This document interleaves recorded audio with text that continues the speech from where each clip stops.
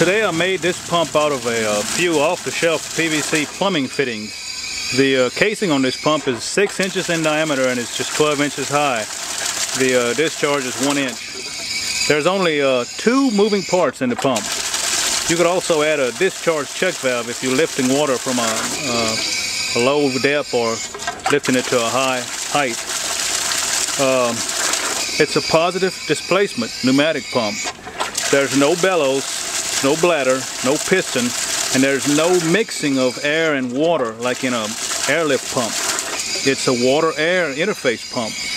It has a special control valve for the air. It had to be made out of uh, modified PVC fittings, rubber washers, and plastic hardware.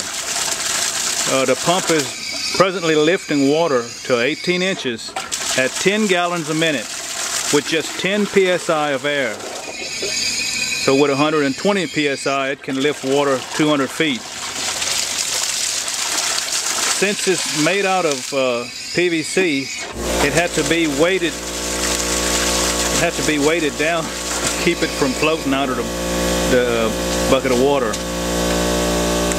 Lance is going to uh, add a six foot section to it to increase the lift.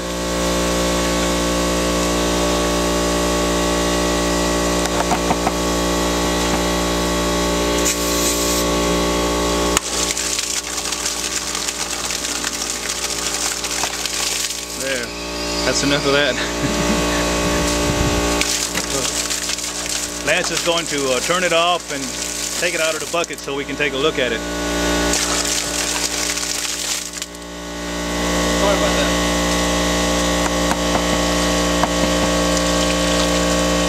Pretty simple, isn't it?